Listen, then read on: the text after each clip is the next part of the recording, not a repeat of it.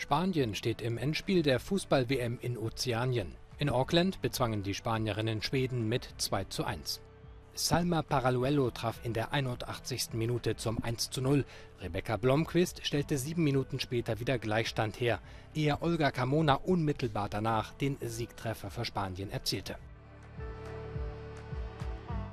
Jubilant Spanish scenes here at the FIFA Fan Festival in Sydney. This place a little less packed now, but before it was a sea of red and yellow for a semi-final that really lived up to the hype. And the Spanish fans won't have far to travel either for the final. Stadium Australia, just 20 minutes or so from where I am now. What a performance from them. Jorge Vilda's side have defied all the critics into the FIFA Women's World Cup final for the first time in their history. Sam Ashu for Euronews in Sydney.